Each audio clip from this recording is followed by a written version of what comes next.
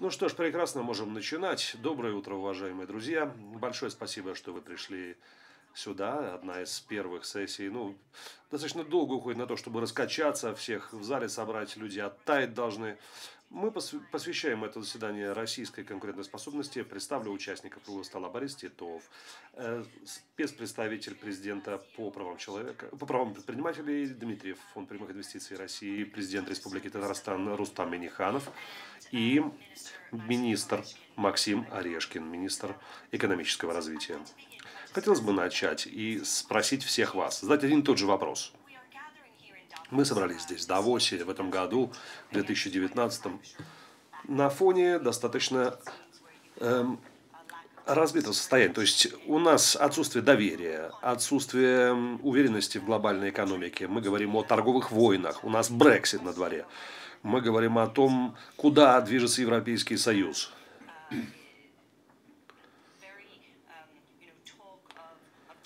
Мы говорим о недоверии скорее, чем о сотрудничестве. Поэтому на этом фоне в чем заключается роль России как гражданина этого мира, глобального гражданина? Начну с вас, господин Титов, а затем мы пойдем дальше.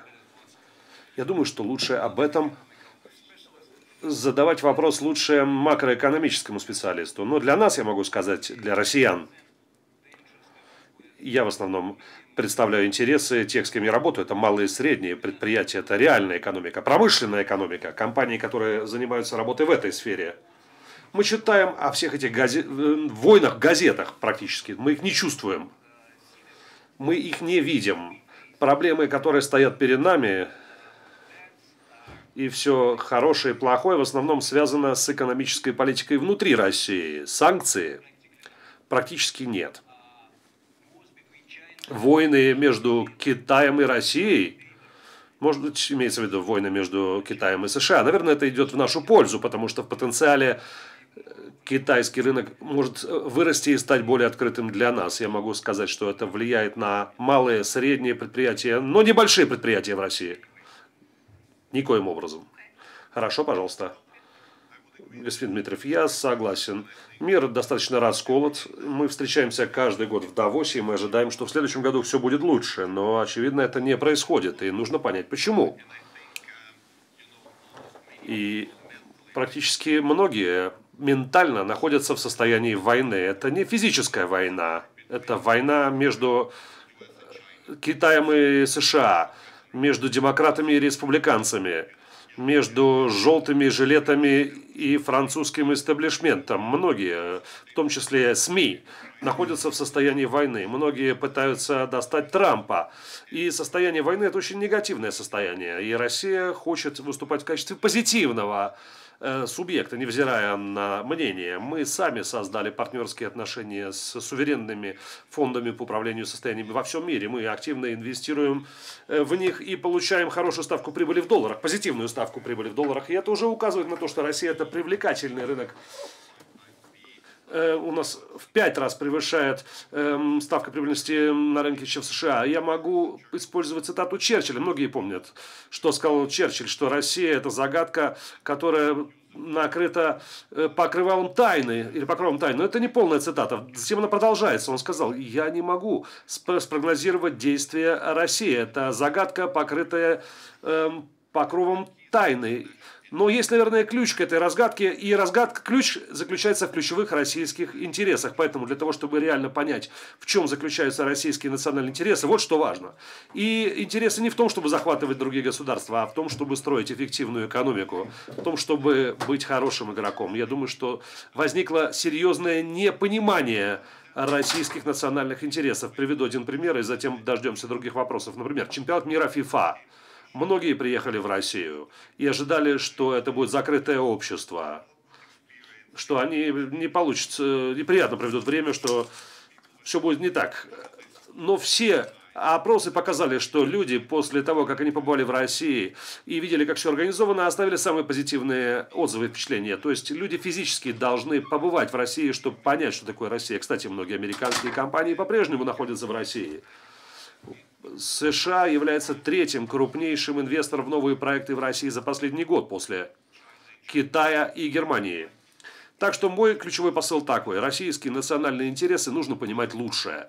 И будем надеяться, что эта дискуссия немного в этом поможет. Понятно, я хотел бы вернуться к вам, потому что вы подняли вопрос санкций, инвестиций в Россию. Мы к этому вернемся через минуту. Но президент Миниханов это важный вопрос для вас, потому что, ну, совершенно очевидно, у вас есть иностранные компании, которые действуют в Татарстане. Что вы видите? В чем заключается, на ваш взгляд, роль вашей части мира в глобальной экономике?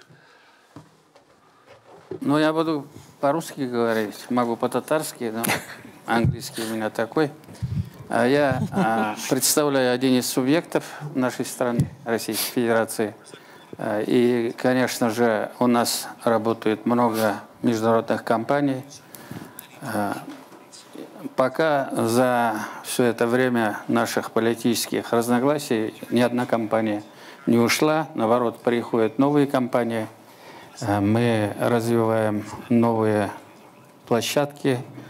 И, конечно же, э, на уровне бизнеса мы не ощущаем каких-либо сложностей. Но вот на уровне политиков эти вопросы ощущаются. Тем не менее, мы сохранили все наши отношения и с американскими, и европейскими компаниями. Сейчас активно работаем с арабским миром, э, с Юго-Восточной Азией, особенно Китаем. Поэтому, ну, э, время лечит, наверное, время пройдет, все это утрясется, надо сохранить наши отношения и продолжать работать.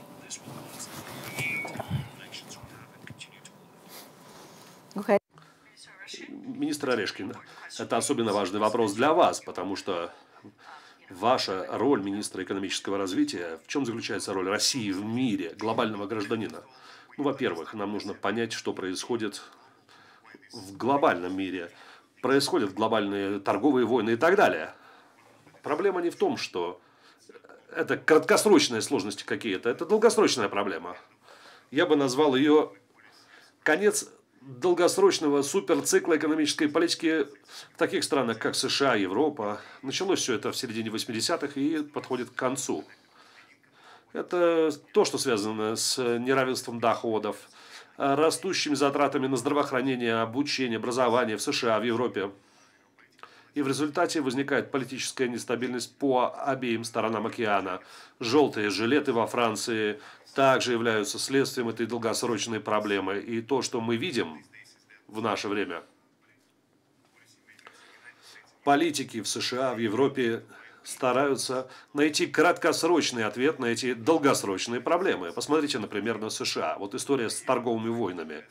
Они пытаются отреагировать на недовольство со стороны населения США, пытаясь найти врага. Китай, Россия. Вот ключевая причина, почему вы живете э, в нищете, почему у вас доходы не растут, почему затраты на здравоохранение и образование растут, и вы не можете позволить себе образование для ваших детей. То есть они пытаются обвинить врага за пределами страны, а на самом деле реальный враг внутри этих стран – долгосрочные структурные проблемы экономической политики то, что мы пытаемся сделать в России. Мы пытаемся строить устойчивую долгосрочную политику, которая принесет пользу всем гражданам России. Это основной сюжет, это ключевая идея, которая стоит за всем, чем мы занимаемся. Я хотела бы начать с вас и задать следующий вопрос. Вот господин Титов говорит, сказал, что санкции практически не влияют на вас. Это правда? Но влияют ли санкции на Россию? Конечно же, они повлияли на финансовые рынки, особенно то, что мы видели в 2014 году. Мы видели рецессию в 2015 году, но с тех пор экономика восстанавливается. Конечно, есть много структурных проблем, которые мы пытаемся решать. По очереди мы начали с широкого спектра макроэкономических э, реформ работа над инфляцией, налоговая, финансовые правила. Теперь мы заставляем инвестиционный климат выйти на новый уровень. Если посмотреть такие показатели, как, например, ведение бизнеса, мы уже на 31 месте. Мы начали 5 лет назад на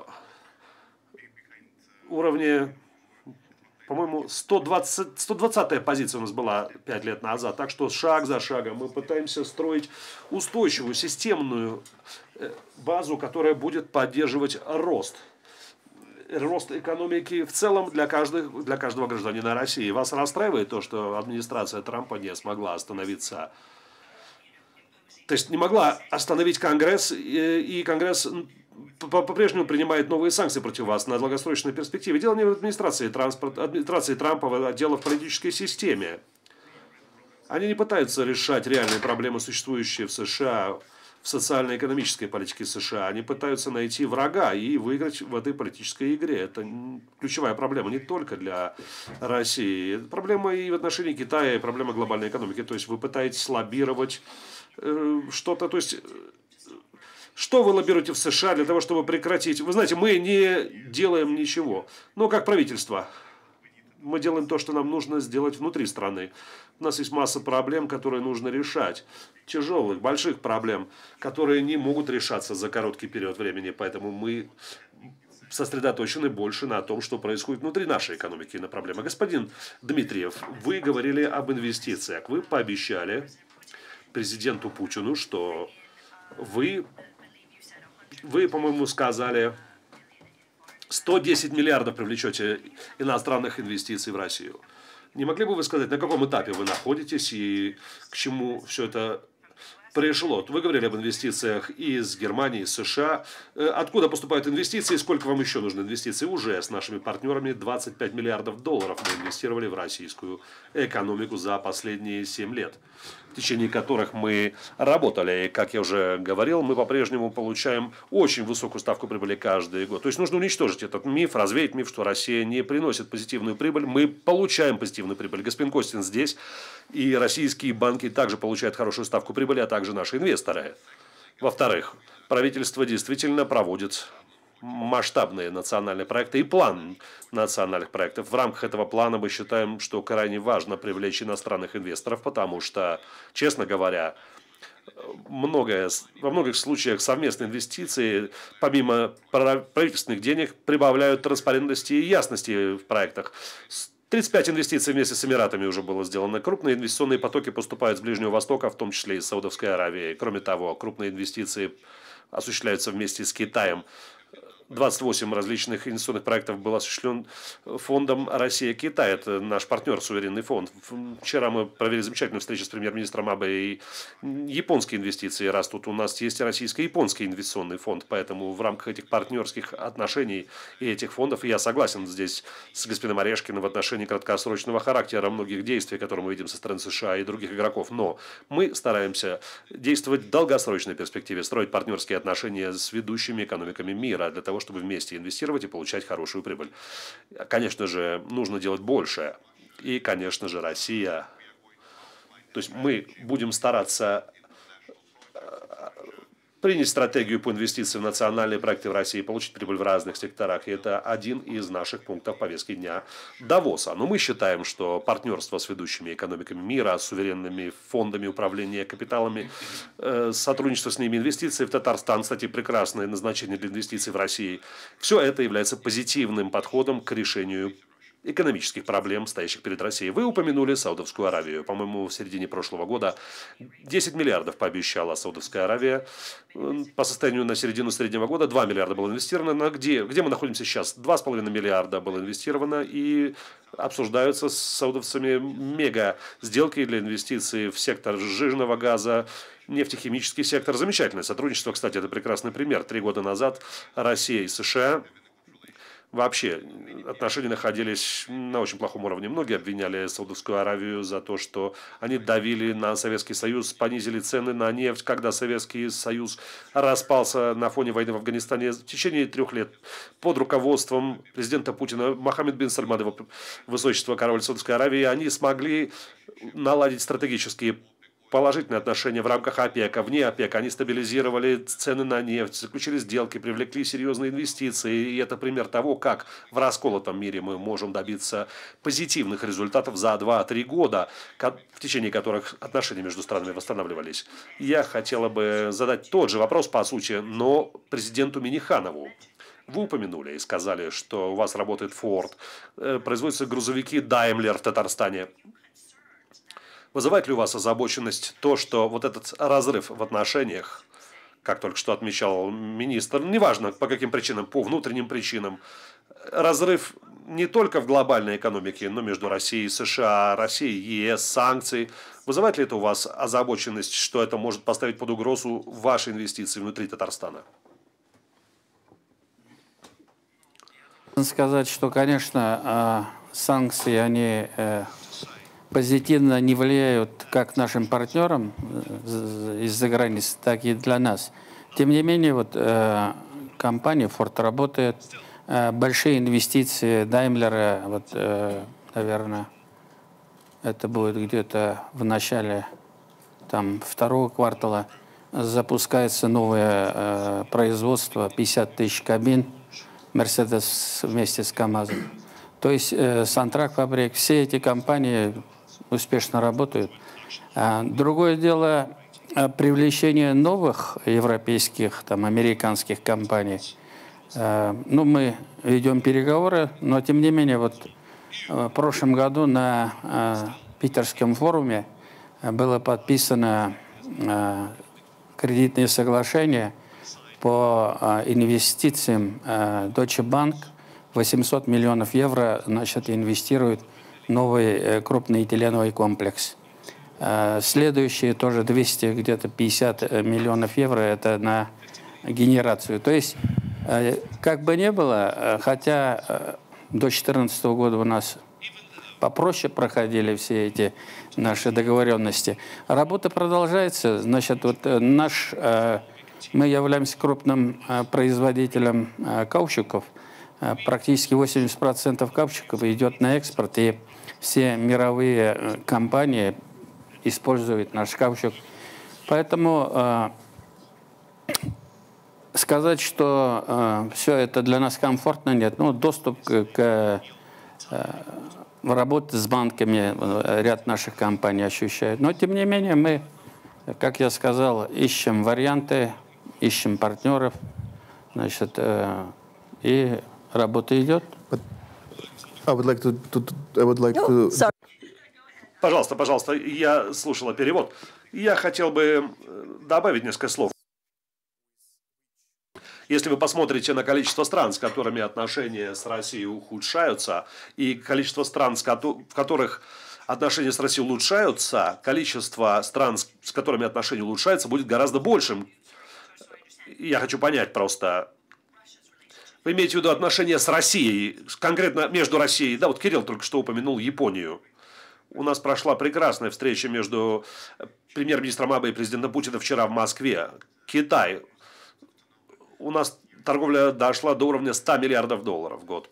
То есть в прошлом году мы провели массу совместных, совместных проектов. Юго-Восточная Азия, масса стран, с которыми мы увеличиваем количество проектов, которые мы проводим вместе. Аэропорт, Саудовская Аравия, Арабские Эмираты и так далее. Ну, даже если посмотреть на ситуацию с Европой, если вы отбросите в сторону все заголовки и газеты и посмотрите на цифры. Вы знаете, что оборот между Россией и Европой увеличился на много процентов за последние годы. Импорт э, в Россию из Европы за последние пару лет увеличился на 40 процентов. Совместные инвестиционные проекты, Северный поток, Э, строится в Венгрии и Финляндии ряд атомных электростанций и ряд других крупных инвестиционных проектов проводятся вместе. Европейские партнеры участвуют таких проектах, как Ямал СПГ, Арктика СПГ с компанией Total из Франции. И там она играет ключевую роль. Европа ждет и намеревается перейти от доллара к использованию евро. И мы работаем с нашими европейскими партнерами над этими вопросами. Есть немало крупных проектов в этих областях, в которых у России есть общая граница с Европейским Союзом. Например, Россия-Финляндия. У нас проводятся три крупных проекта. На границе улучшается инфраструктура и так далее. Если смотреть на факты и на цифры, то вы увидите, что ситуация между Россией и Европой на самом деле развивается. Наметился прогресс. Несколько лет назад это даже назвали ну, неким ренессансом в отношениях между Россией и Европой. Конечно, есть предвзятые отношения и в политике, и в средствах массовой информации, но реальные факты и цифры показывают, что что, кстати, интересно, даже если посмотреть на цифры по торговле между Россией и США, на самом деле цифры лучше в прошлом году, чем позапрошлом. И куда цифры идут? И в обе стороны. Конечно, цифра достаточно маленькая, очень ограниченное взаимодействие, ограниченное количество проектов, но динамика позитивная. Вот Трамп был здесь в прошлом году. и призывал все иностранные компании инвестировать в США. Это произошло? Ну, лучше, наверное, администрацию США спрашивать, ну, на ваш взгляд. Но, опять же, все эти заявления, все эти политические инициативы, они краткосрочные по своему характеру. Американское общество должно обратить внимание на внутренние проблемы, которые реальны и являются источником политических сдвигов, которые мы там видим. Понятно. Давайте вернемся к тому, чем вы занимаетесь внутри страны. Хотелось бы поговорить о приватизации. Не могли бы вы дать нам последнюю сводку о программе приватизации в вашей стране? Это очень важно для такой аудитории, как Давос, где присутствуют огромные, гигантские инвесторы со стороны, и может я не права, вы меня исправите, кажется, что вот ряд компаний, которые мы, как журналисты, освещали Совкомфлот, Аэрофлот, Альроса, крупные компании. Где мы находимся в рамках программы приватизации? И что вы... Вы лучше спросите главу Альрос, который сидит вот здесь я могу дать вам слово, попросить вас сказать нам об этом. Ну, вы можете общий обзор представить. Если вы хотите общий обзор представить, то не нужно задавать конкретный вопрос. Нужно задавать панорамный вопрос. Вы начали с конкретного вопроса. Что конкретно делается внутри страны? Внутри страны делается много всего. Внутри страны... Можно я... Я одну секунду. Все хорошо, вы мне расскажете, что происходит, но я думаю, что в аудитории, где присутствуют иностранные инвесторы, приватизация является важным моментом. Ну, пожалуйста, можем дать слово господину Титову начало. Я дам краткий ответ. Мы работаем над целым рядом различных сделок. Мы работаем в закрытом формате, когда вы готовите сделки. Это не должно быть публичным. Не нужно это обсуждать э, публично, с кем мы ведем переговоры, о чем мы говорим.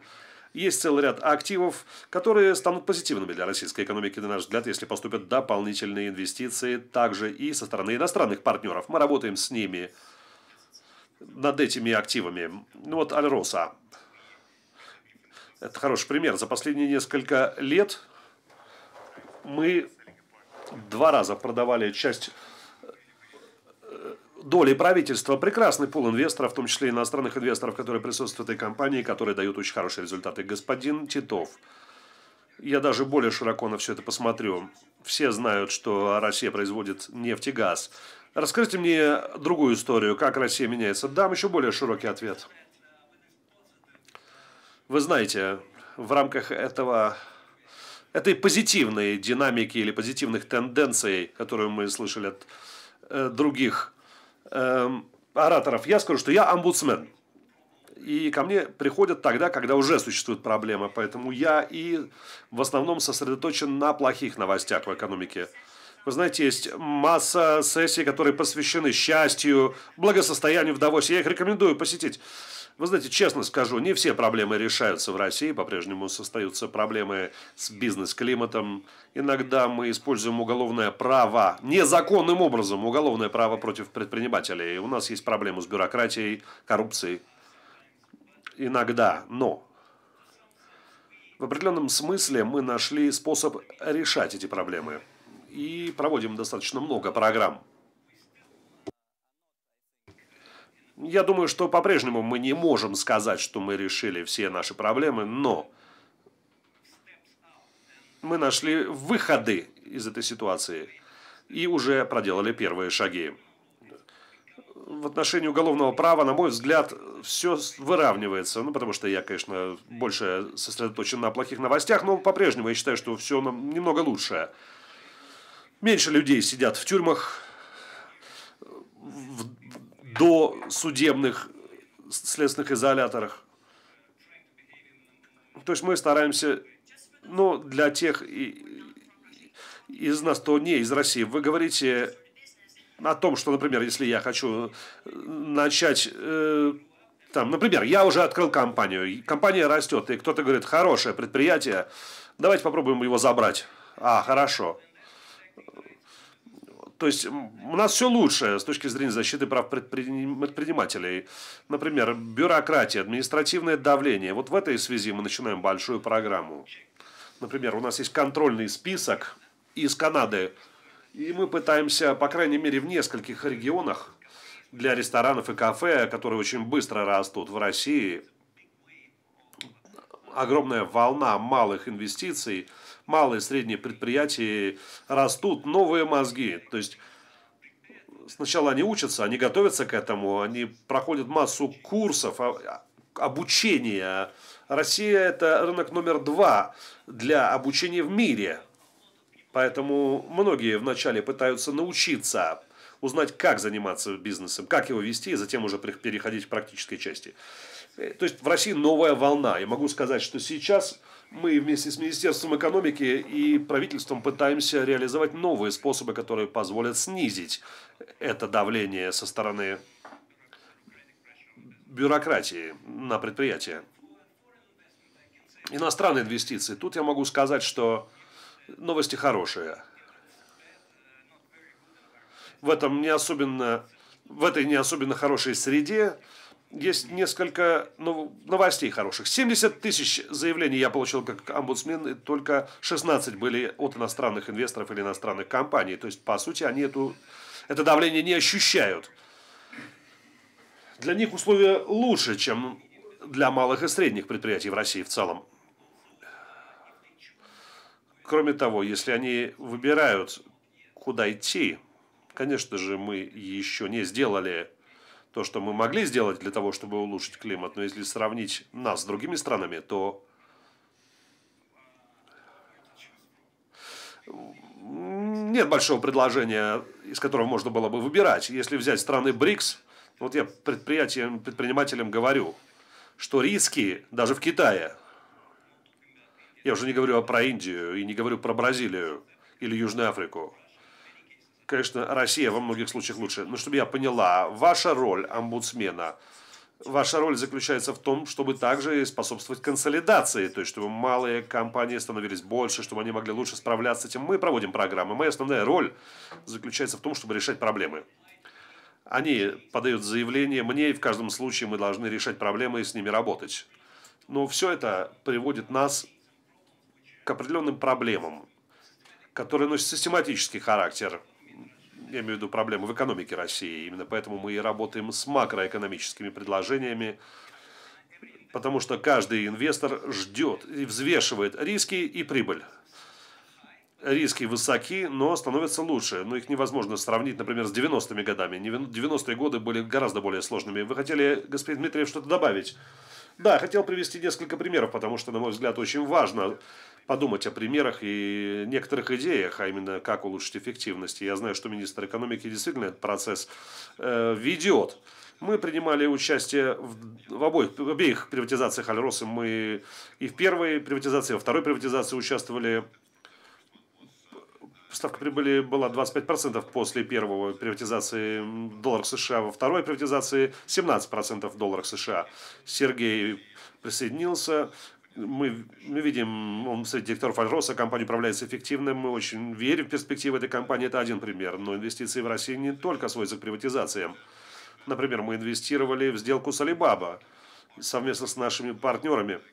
Мы получили контрольный пакет в Alibaba Россия. Мы ожидаем закрыть эту сделку в следующие месяцы. И этот бизнес растет на 50% в год в России.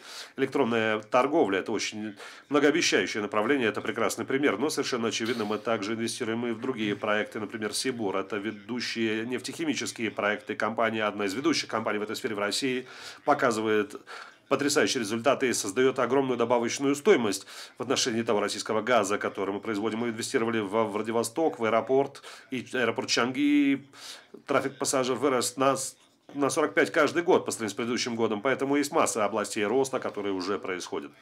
Но я согласен с господином Титовым, что есть и области, где можно что-то улучшить.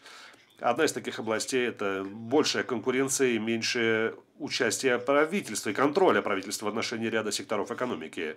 Мы видим, где у нас большая конкуренция, розничная сеть, мобильные операторы, где наши компании действуют эффективно. Есть меньше конкуренции, там компании действуют менее эффективно. Вот это, наверное, ключевые области. И вторая область – это то, что у нас уже хорошая макроэкономика, но нам необходимо сосредоточиться больше на микроэкономике. Это то, что многие называют промышленной экономикой. То есть речь идет о корректировке режимов в разных секторах для того, чтобы они стали инвестибельными. Во многих секторах прибыль на вложение капитала 8-9%, в некоторых секторах 15-16%. Но мы должны убедиться в том, что правительство задумывается об инвестибельности разных секторов и не столько думало о бюджетном подходе к решению проблем, где правительственные деньги выделяются бесплатно из бюджета помимо инвестиций. Это ключ, наверное. И последнее, о чем говорил господин Титов, это предпринимательство в России. Действительно, тут можно сделать большее для того, чтобы понять, как предприниматели создают добавочную стоимость, а не правительство, что они являются движущей силой здесь, а не правительство. И последнее, что я скажу очень кратко, по санкциям. Один из пагубных эффектов санкций – это то, что они снижают объем либеральной повестки дня в России. Это плохо скрыто, но по сути ограничения в отношении России заставляют многих в России считать, что нам не нужны связи с Западом. Нам не нужны Запад... связи с США, мы будем делать все сами. Так что парадоксально, я думаю, что санкции подрывают либеральную повестку дня в России. И это проблема. Я вижу господин Ишинге из Unex Security. Он присутствует здесь. Я надеюсь, что это скоро на его конференции будет обсуждаться, на конференции по безопасности. Но Россия хочет быть позитивным игроком в мире. Давайте будем работать над позитивной повесткой дня и будем продвигать повестку дня в сфере инвестиций, предпринимательства и так далее. Я хотел задать быстро вопрос, и затем уже поговорим о диверсификации и о технических компаниях, вы уже затронули Абаба и так далее. Интересно, что вы говорите. Это практически причина, это повод понизить либеральную повестку дня в России. Ну и можно предположить, что это также способствует росту антиамериканских настроений и изолирует, если хотите, даже на верхнем уровне, даже среди людей вокруг президента Путина, они становятся большими изоляционистами. Я согласен с господином Орешкиным, в первую очередь Россия приспособлена к санкциям, рост составляет 2%, цены на нефть стабильны, то есть никаких последствий нет, но есть действительно последствия с точки зрения изоляционизма в умах многих россиян. И они считают, что, может быть, нам не следовало бы столько сотрудничать с Западом. И опять же, все увязывается с первым моим тезисом о том, что действительно многие, кто до конца не понимают Россию, как с Россией работать, должны учитывать этот важный аспект. Итак, господин Орешкин, вопрос вам. Как Россия решит эту проблему? Я хотел бы продолжить а, то, что начал Кирилл. А, ключ, а, главное, это то, что а, санкции а, таким образом сформированы, что они не решают проблемы России, но проблемы Европы и США. Да, но они существуют. Мы можем говорить о внутренней политике США, но лучше не надо. Но что вы делаете? Что вы делаете? Очень простой ответ. Мы концентрируемся на внутренних вопросах в стране, повышение конкурентоспособности, э, меняем э, структуру инвестиций в экономике, делаем ее более продуктивным. Мы инвестируем в образование, здравоохранение, в человеческий капитал. Мы пытаемся повысить производительность э, труда, э, пытаясь э, поддержать э, внедрение новых технологий управления в промышленности и в других секторах экономики. То есть э, мы работаем над э, некрупными вещами, которые, может быть, не интересны геополитической точки зрения, но, тем не менее, оказывают э, большое влияние на Россию и на улучшение жизни граждан. Конечно, как крупные страны, э, э, вы инвестируете в технологии, создавая новые Гуглы мира, Фейсбуки мира.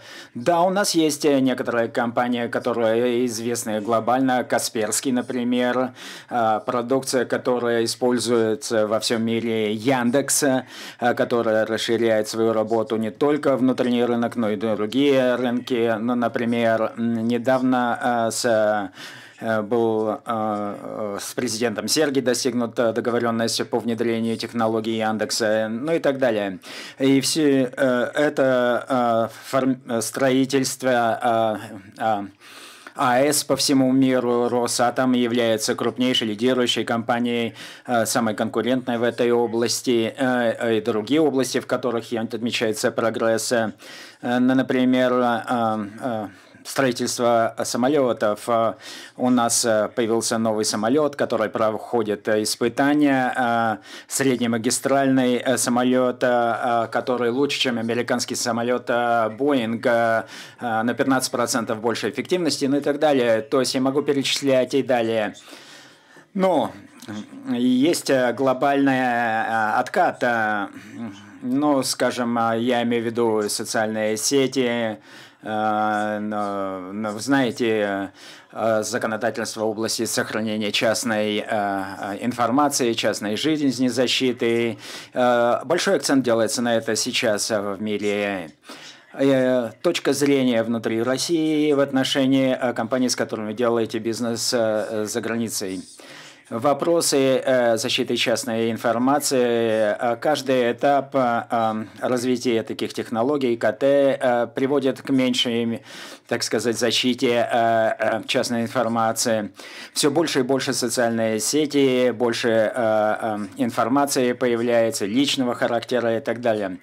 А то, что происходит э, в России, это хорошая история, потому что э, это позволяет э, повысить количество, повысить качество людского капитала, когда вы абсолютно прозрачны, когда все известно, либо вы будете дальше работать на благо страны, либо вас просто выбросят.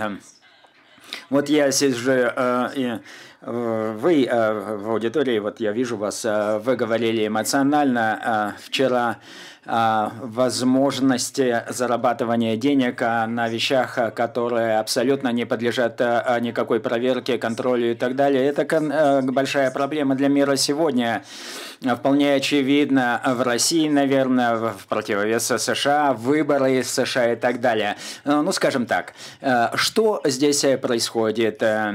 Можем ли мы считать, э, что то, что говорится в США России, наоборот, э, что это сказывается на экономическом развитии? Потому что вы говорили о подрыве либеральной повестки. А что, а что говорится? Скажите, о чем говорится в прессе США? Ну, например, вмешательство в выборы США э, и все, что последовало за этим, роль ваша в мире. Вы сказали, нужно оставаться вне заголовков прессы в Европе и так далее. Это глобально... Господин Дмитриев уже сказал, что Россия хочет э, обеспечить позитивные отношения с другими странами, стран, странами, мир э, на всей земле, совместные проекты, позитив. Господин Дмитриев, одно предложение, я полностью согласен с господином Орешкиным. Крупная проблема состоит в том, что кто бы сейчас э, э, не сказал сегодня, чтобы Россия и США э, э, лучшие отношения были у них, э, и, и такого человека э, э, казнят буквально. Да, конечно, мы не хотим это упоминать, но тем не менее все это растет, потому что есть отсутствие э, понимания, отсутствие диалога. Э, и люди, которые говорят о том, что нужно наладить отношения между Россией и США, их распинают в прессе. Путин и Трамп договорились, чтобы был э, бизнес-диалог между Россией и США. Пока этого нет, но это очень важный шаг, потому что нам этот диалог нужен. И э, господин Рейшкин упоминал, что американские компании э, работают в России, консультативный совет, они присутствуют в России, они продаются продаются свою продукцию в России и так далее. Все это делается, может быть, э, достаточно э, э, сдержанно, не афишируя, но тем не менее мы должны начать с признания того, что улучшение американ, американо-российских отношений – это хорошо. Президент Путин должен был приехать сюда в Давос в этом году, нет? Да?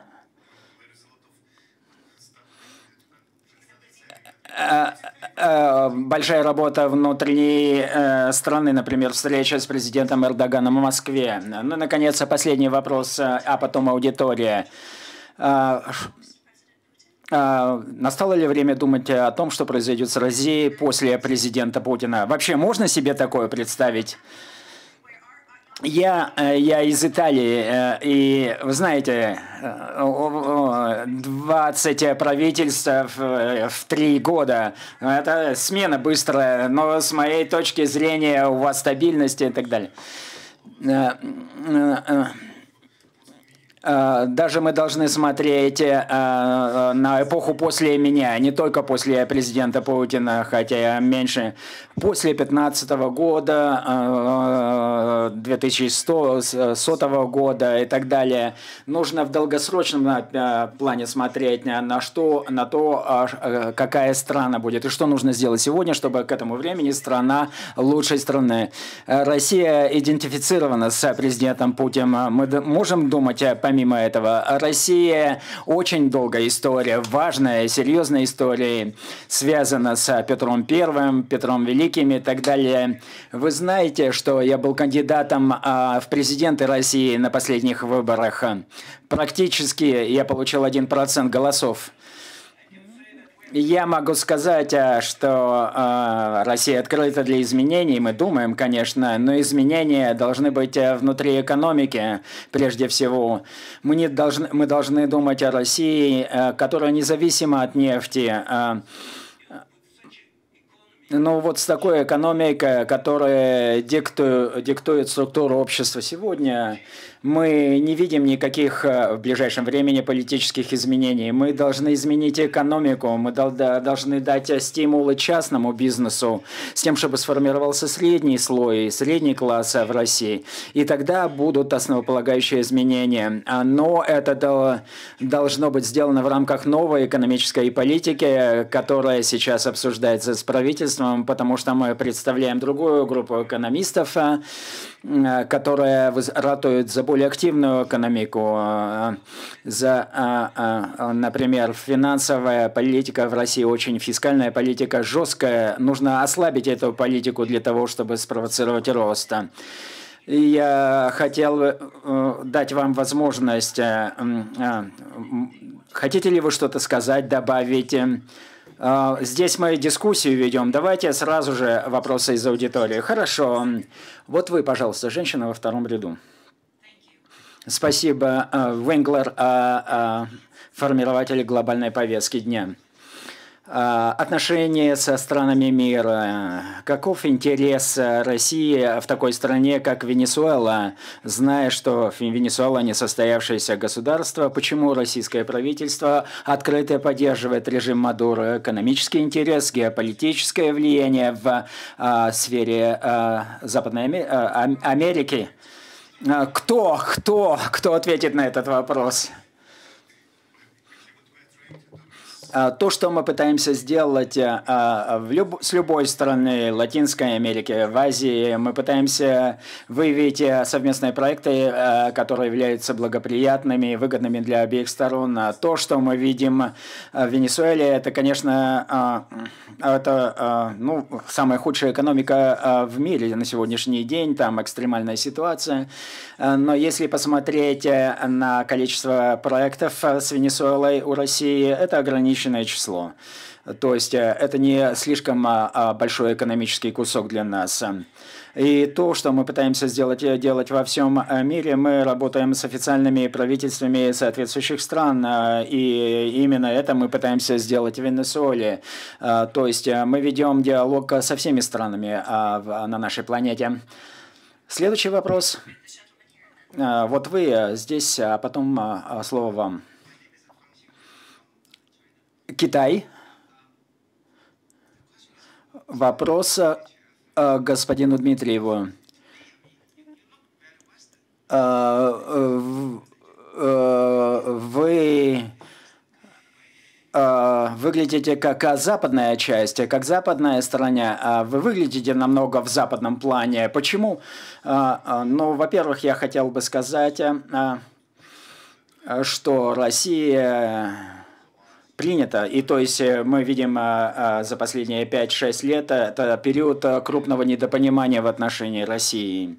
И одна из причин, по которой, например, есть и небольшие государства, балтийские государства, для них э, э, поддержка европейской поддержки, военной поддержки, они должны э, рисовать Россию, представлять ее как враг, как опасность, как врага, как опасность, как упомянул господин Орешкин. Они говорят, что Россия угроза, но у нас нет намерения атаковать эти прибалтийские государства. То есть, мне кажется, в этом малое государство проецирует этот имидж. Но Россия очень важная точка а, между Европой и Азией, мостик. Мы, например, а, мы инвестируем в цифровой мост вместе с японцами между Европой и Азией с тем, чтобы создать соответствующие сети. То есть мы работаем... Не слышно вопрос, без микрофона.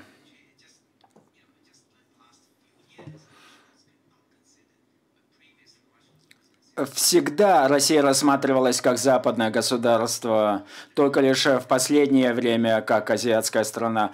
Россия в эпоху монархии всегда была близко с, Росси... с Европой. У нас есть э, а, совместные фонды с европейскими странами, большая часть ценностей – это европейские ценности. Но сейчас это уникальная э, позиция России, э, объединение моста между Азией и Европой, Европой, э, промышленностью, экономикой, и мы должны воспользоваться таким уникальным положением в мире.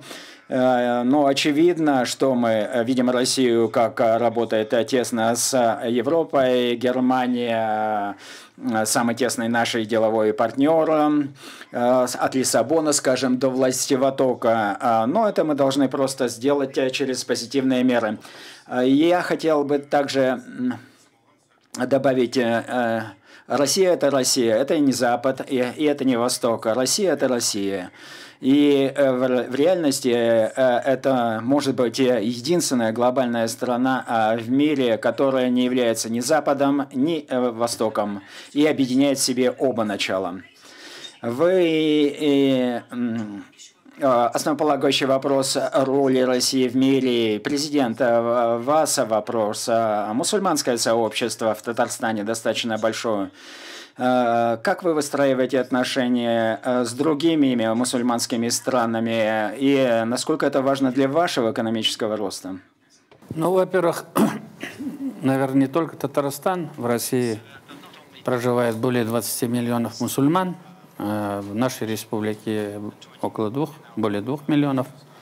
И, конечно же, э, сегодня э, Российская Федерация является наблюдателем в Организации исламского сотрудничества. И мы активно работаем в этом направлении.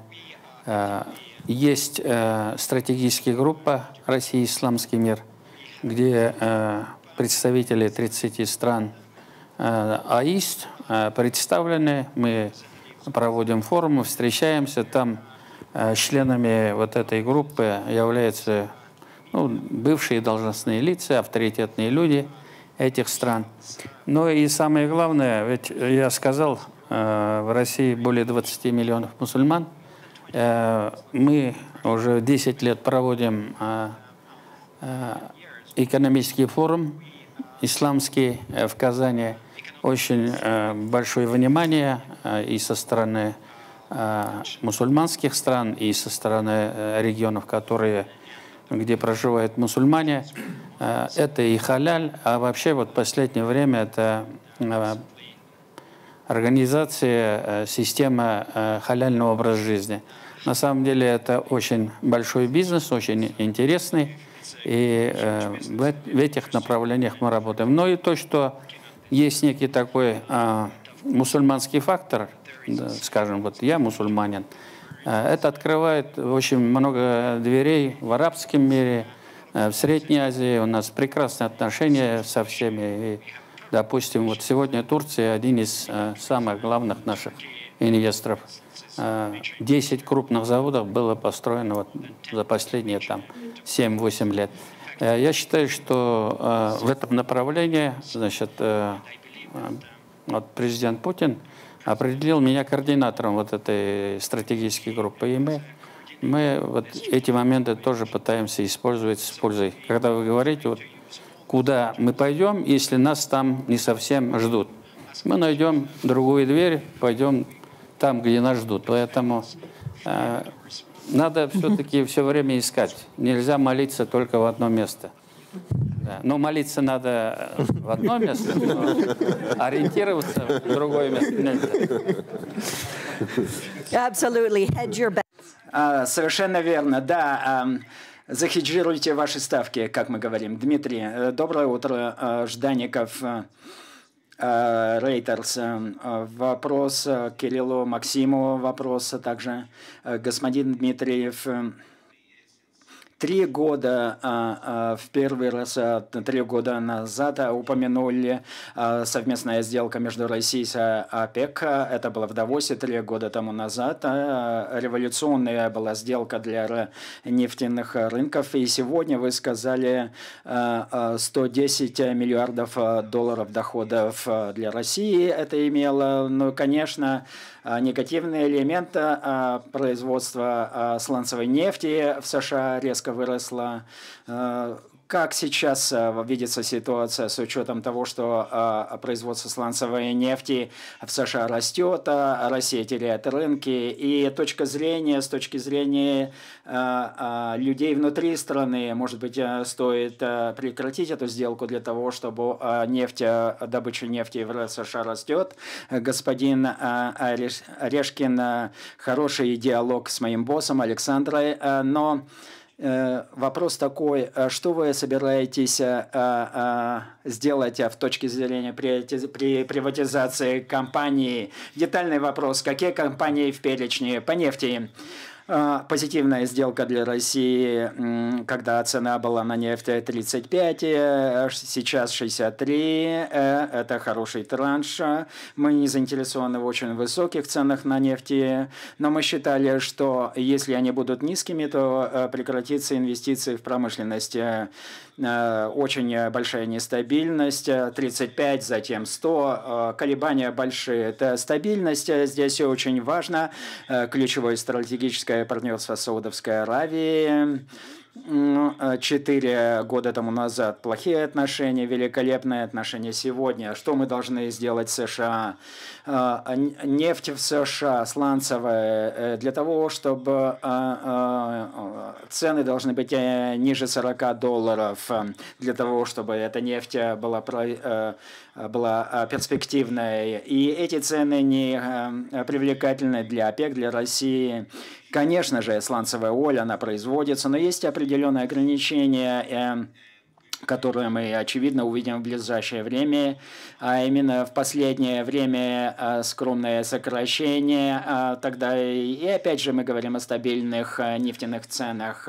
Мы не должны проводить э, конкурентную войну, разрушая цены на, цены на сланцевую нефть. Мы должны делать, э, чтобы было все хорошо для производителей и потребителей.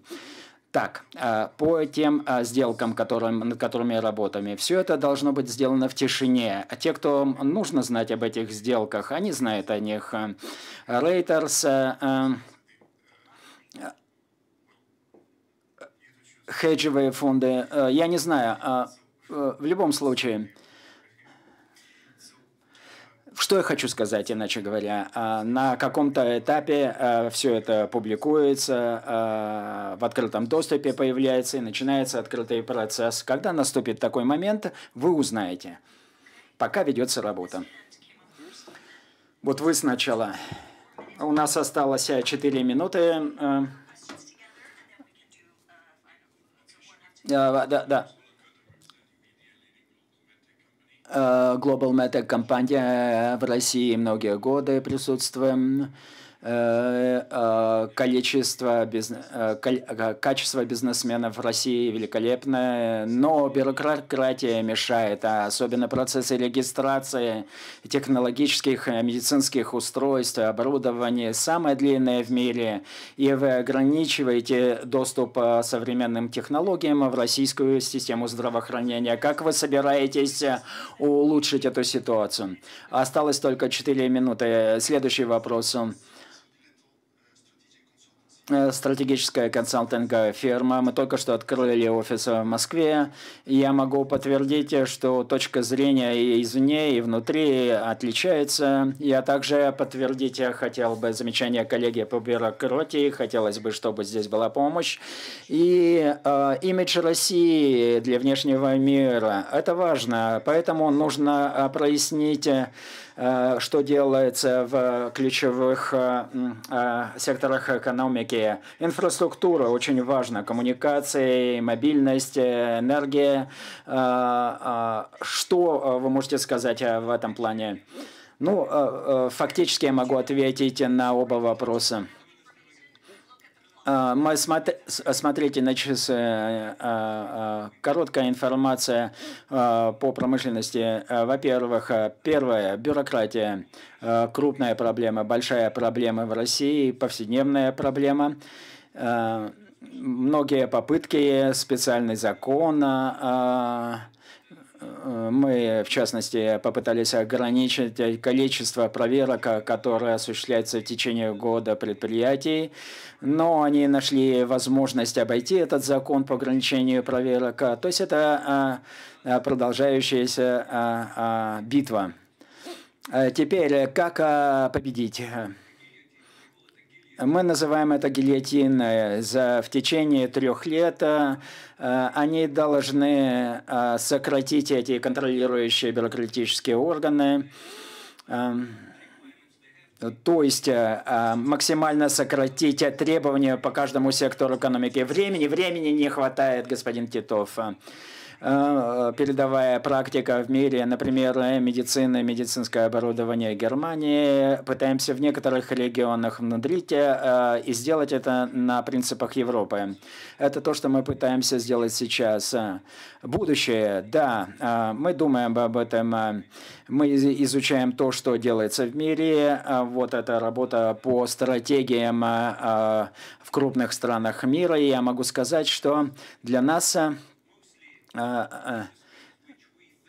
про секторы промышленности, экономика, которые будут локомотивами роста с нашей точки зрения. И здесь я вас прерываю. Ответ? Нет? Да? Цифровая экономика а, не, не сюрприз. Экономика мелкомасштабная, мы производим промышленность гостеприимства – Э, девять секторов в целом, а, включая оборудование. Кстати, э, очень много секторов, э, очень много областей. Конкретный ответ по вашей проблеме имеется специальный механизм, который пытается решать бюрократические вопросы. Направьте официальный запрос нам, и мы попытаемся с помощью этого механизма разобраться. Господин Бинтров искусственный интеллект изменит э, много а, а, секторов экономики. Мы, опять же, работаем по повышению эффективности с, с консультантами э, на 20-30% во многих секторах. Большое спасибо, нам нужно заканчивать. Большое спасибо. Спасибо за ваше терпение и понимание. Спасибо.